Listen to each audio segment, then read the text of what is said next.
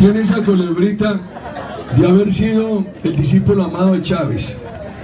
Y él había bregado en estos días como la culebrita aquella de resorte, que la, uno la brega a meter al tarrito y ella se sale. Él había tratado de guardar su chavismo, pero se le salió.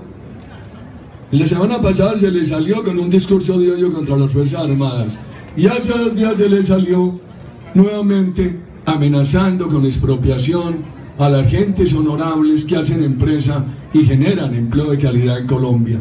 Doctor Pedro, el gobierno es un ejemplo en confiscar bienes del narcotráfico y en apoyar a la gente honesta del campo colombiano. Vamos a hacerlo.